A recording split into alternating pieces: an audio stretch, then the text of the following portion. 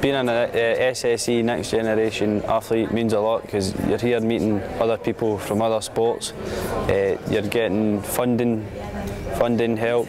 They're going to put you out, kind of promote you as an athlete and that. And for a minority sport like my own, that's a big, a big thing. Plus, seeing like, the likes of Sir Chris Hoy, getting to speak to Chris Hoy and that is it's a good thing.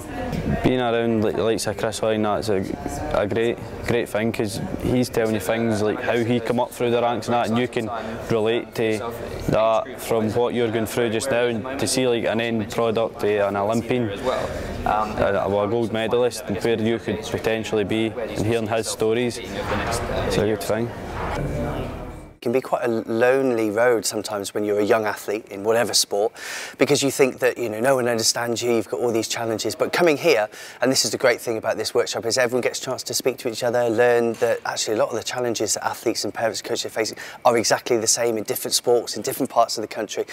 SSE provide financial support through the through SportsAid as well who are delivering it. And this is adding extra value because they go away from here at the end of uh, a day and a half together with new friends new ideas and new new new energy to go forwards.